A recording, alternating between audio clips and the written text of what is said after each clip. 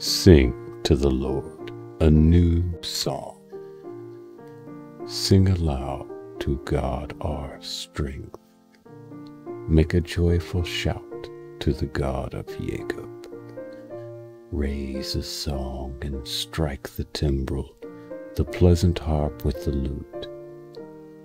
He has put a new song in my mouth. Praise to our God many will see it and fear and will trust in the Lord. Be strong and of good courage. Do not be afraid nor be dismayed, for the Lord your God is with you wherever you go. The joy of the Lord is your strength. Paul thanked God and took courage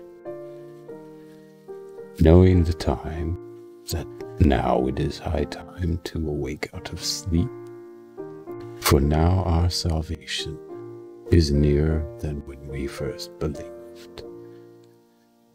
The night is far spent, the day is at hand.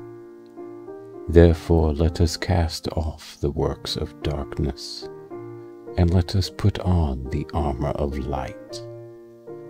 Let us walk properly as in the day, not in revelry and drunkenness, not in lewdness and lust, not in strife and envy, but put on the Lord Jesus Christ, and make no provision for the flesh to fulfill its lusts.